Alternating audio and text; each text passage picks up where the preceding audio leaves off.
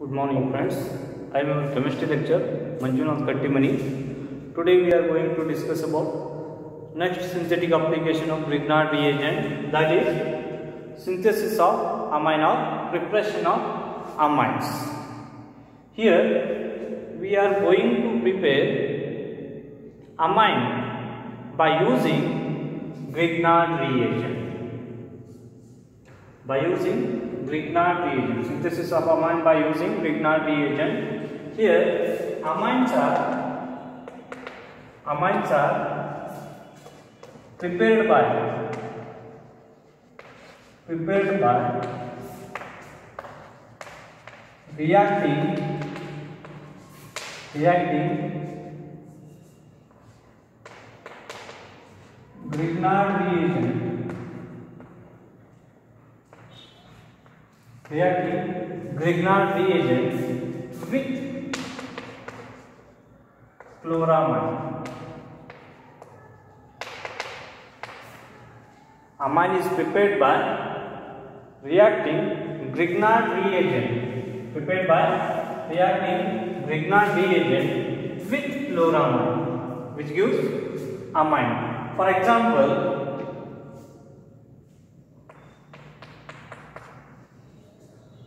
Grignard reagent is methyl magnesium iodide. This is the Grignard reagent. When methyl magnesium iodide is reacted with chloramine, chloramine means this is our chloramine. Grignard reagent is reacted with chloramine. Here the alkyl group of the Grignard reagent is attacked to the NH2 group. Again, this bond is broken and this is attacked with the this group gives CS3 NH2 plus Mg RCl. This is our amine. This is the final product preparation of amine. If we see the example, another example, example number two, instead of if you take ethyl instead of methyl group CS3 CS2 MgI this is our Grignard reagent this is reacted with chloramine again here alkyl group of the Grignard reagent attacked to the nitrogen then it goes out to give CS3, CS2, NH. This is our ethyl. Ethyl. This is the method of preparation of amine by using Grignard reagent. This is the synthetic application. Okay. Next point is synthesis of alkane. Here we are going to prepare alkane by using Grignard reagent again here taking Grignard reagent which is going to prepare is alkane here alkane is prepared by alkane is prepared by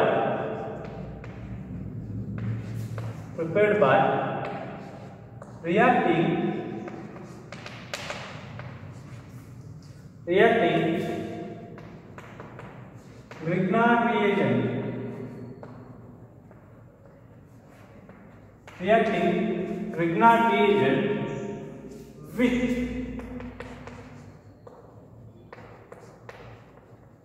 molecule containing active hydrogen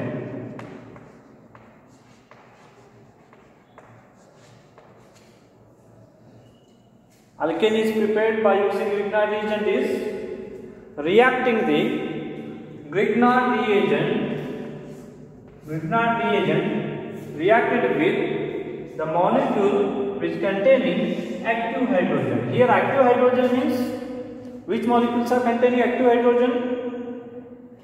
Which hydrogens are easily replaced or easily donated by this molecule. Such molecules are called active hydrogen molecule or active hydrogen compound. For example, water, H2O, alcohol, ROH or amine, NH3, ammonia. These are all active hydrogen compound because these can donate easily hydrogen, easily replaceable hydrogen. Such compounds are called active compound or active molecule.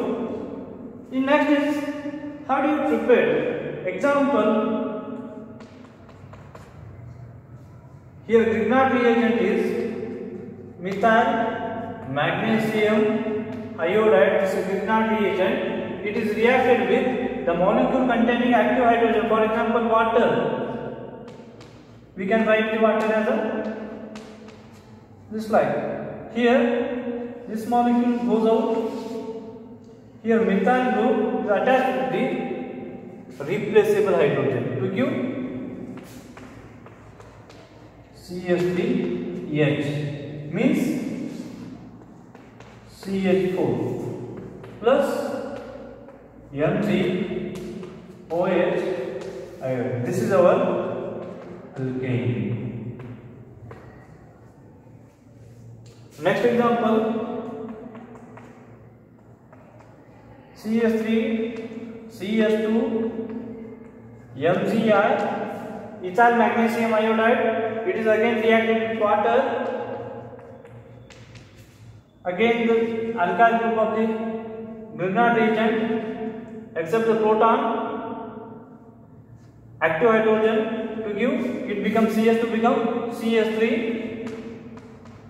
CS3 CS3 plus MgOH I. This is our alkane.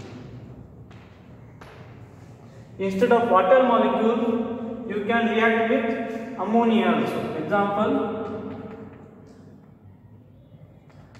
CH3 MgI methyl magnesium iodide is reacted with alcohol. For example, CH3 OH. Here, this hydrogen is an active hydrogen. This alkyl group combines with this hydrogen to give again alkane CH3H means CH4 methane. This is our alkane plus Mg OCH3. This is our alkane. In this way, we can prepare the alkane molecule by reacting Grignard with active hydrogen compound. When you react the Grignard reagent with compound containing active, active hydrogen compound, it gives corresponding alkane. This is the preparation of alkanes.